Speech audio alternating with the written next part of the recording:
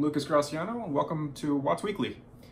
Uh, this week, I wanted to piggyback a little bit off of Erik's video from last week, which was uh, about inspiration and the things he has in his studio that helps uh, uh keep him motivated and, and uh, inspires him for what he does. Uh, for me, I wanted to talk a little bit more focused about reference and the things I have in my studio that help me get the, the level of detail I want in my illustration work. Um, I'm a firm believer, firm believer in using a lot of reference.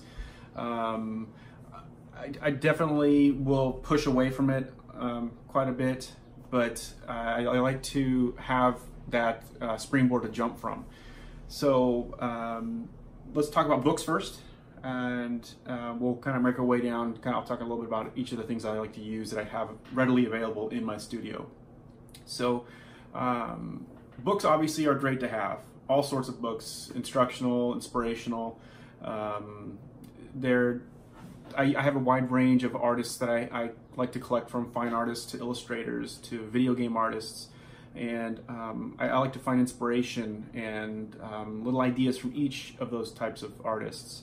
So um, I'll have a collection of different types of uh, anatomy books as well. Anatomy is very important to to have available uh, to you. So I've got several different anatomy books that I'll, I'll reference and, and um, uh, different how-to books. The Loomis books are always good to have um, if you're if you're struggling with something fundamental. Um, but got a, a, good range of anatomy tools stuff. So the statue from Anatomy Tools, the skull, uh, just a basic skull I found on, I believe that was at one of those uh, exhibits, the body exhibits. Uh, those are really good to to um, you would definitely want a skull in your studio. I, I find myself using it as, as, a structural element quite a bit, taking it and turning it and moving it around so I get just the right sense of form for a particular head angle I might need. Um, the Asaro head is great for just the basic planes of the, of the face. So if I'm not getting lighting right in a face that I don't have great reference for, I can take the head, move it around, and get the right kind of reference I need, or right kind of uh, sh uh, shot I need for it. Um, I like to also use the internet. Obviously, that's that's kind of a go-to. The, the problem with that is all of the artists are using the internet and um, oftentimes using very similar um, images that they're working from. So you got to be careful from that. Um, oftentimes, I can go to an illustrator go, oh, "Hey, you know, I've seen that. Uh, I, was, I, was, using that image in one of my illustrations, or I'd come across it one on the internet." So uh, but still, the internet is, is still probably one of your best tools for finding good reference. Um, you just have to be able to extrapolate the reference image information you're getting from your reference and make it your own. So you don't want to copy too closely to what you're seeing on the internet. Um, I have different types of figurines that I like to use. I paint a lot of fantasy, so I've got dragons. This is a, a, a toy from the McFarlane series of dragons, which are really detailed and, and very cool and, and conceptual with, with, the designs of the dragons. So I like to use these as kind of a starting point. Like I might take a, um, a wing and, and, move it around or something just to help get me a little bit more believability in the sketch that I'm designing. Um, some dinosaur toys. I forget who these are made by, but I found these on Amazon and they're highly detailed. Um, really good references, but you know I can take that. What does a dragon head look like from this angle or from that angle? You know, and it gives me a little bit more of a, uh, springboard to jump from. So um, I use these these knights are great. I found them on on eBay. I don't remember the name of the company that was doing those, but um, they're, they're kind of expensive. But for me, they're worth the investment because I do a lot of knights and medieval armors and stuff in my illustrations but I'll use that. He's posable up to a point, and I can take just take you know a gauntlet or something and move it into an angle I need and light it and get the reflections and everything I need off of that. So those have become in real handy. I've got about five or six different types of medieval armor knights in, in my collection that I will just kind of go back and forth and decide which one works best for the particular um, uh, assignment I'm working on. Um, I use these figurine hot toy heads. These have been really handy. Um, this is Superman. You know, it's a generic head, but look how detailed that is. It's incredible. Um, the amount of their skin pores, and I can take it and I can light it a certain way, and then shoot, you know, angle it, shoot it, and get pretty good reference. I mean, look at the detail on that, the lighting there. The rim light's really nice. I mean, it's these things are 30 bucks maybe on. I found them on eBay. You can just buy the heads. You don't have to buy the whole figures. and um, these are solid. I mean, I usually I get a few different ones, uh, male and female, maybe some with a beard, some without, and just start your collection. This stuff has become invaluable to me. If I'm running into an issue with lighting or details or anything on a face, I go to these. These are pretty much my go-to uh, um, heads. Uh, the trick is taking that information against extrapolating it so it doesn't look like Superman. You want it to be your own um, your own person. So just painting from reference and relying just on that is not going to get you by. You have to go on your experience in figure drawing and life drawing and be able to pull that muscle memory and that, that information out of your muscle memory and and um, and uh, be able to use it and, and, bend it how you need to.